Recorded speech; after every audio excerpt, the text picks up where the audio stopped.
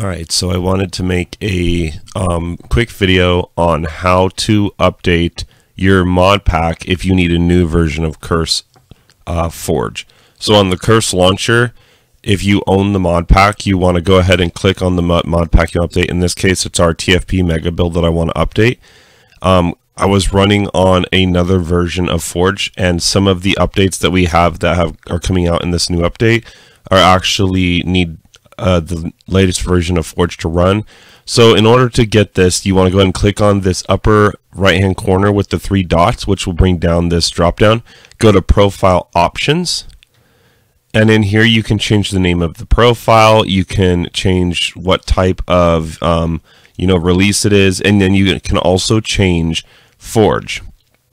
So it gives you every single Forge in reality, like that really matters at this point for the current version you're running on your mod pack.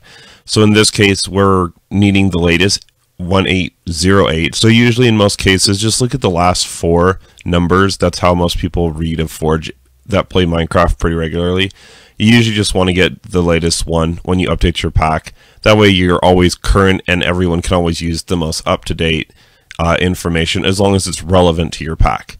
So once you get that, you hit OK, and then you relaunch the game. So you just hit play to relaunch the game, and it should show in the ready to update and play that it will show the current version.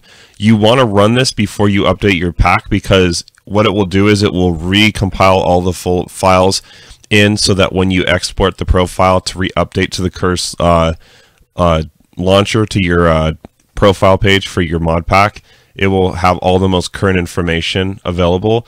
Also, always test your pack before you release it. So that is my tutorial on how to uh, add in uh, the latest version of Forge.